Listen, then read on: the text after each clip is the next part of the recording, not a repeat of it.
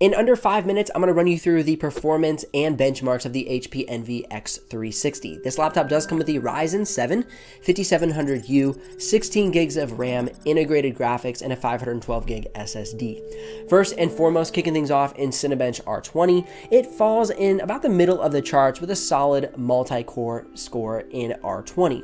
For R23, it's really making it up there. It even tops above the powerful MSI Creator 15 with the i7 10875H for the R23 scores. For Geekbench single core and multi-core performance, it really does step it up even amongst a lot of the more powerful H series processors.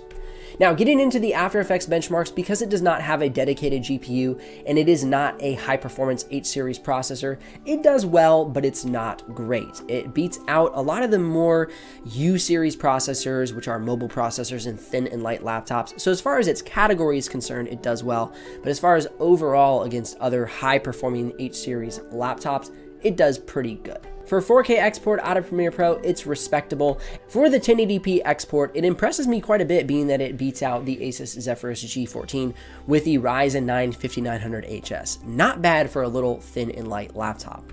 So for 1080p, this is a great laptop. However, if you want to edit 4K, you're going to have some struggles at full quality resolution while editing. You're going to drop about 10,850 frames out of the 16,177 in the project. If you edit 1080p, you'll only drop about 200-ish frames for that entire project. So I would definitely say this is more of a 1080p video editing laptop than it is a 4K video editing laptop.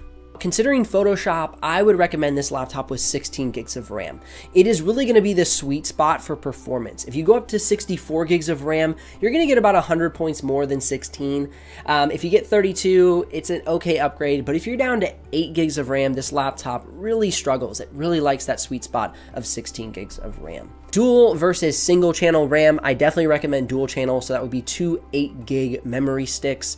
Um, but if you do single channel, you might lose 60 to 100 points because it really likes having that dual channel RAM. For the thermals, that's one area that I was pretty disappointed with this laptop. I thought it would perform much better. Turns out that these side vents on the top of the keyboard deck don't vent well with the fans. The model that has the vent along the top of the keyboard deck is much better because it really vents well with the fans right beneath it. However, this one runs pretty warm for most tasks. Even at idle, I was seeing 55 degrees Celsius. Now, in regards to battery life, I was quite impressed with this laptop. From productivity tasks to streaming video to intense Photoshop workflows to video editing, this thing really held up.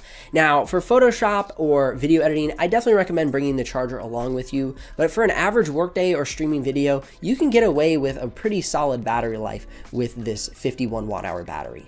This laptop is not only thin and light with an aluminum chassis and solid performance, but it has excellent screen brightness and color accuracy. The model I have in front of me does have the 400 nits upgraded screen, which doesn't quite reach 400 nits, but it does reach 99% sRGB, so it helps out with the creative professionals with better color accuracy.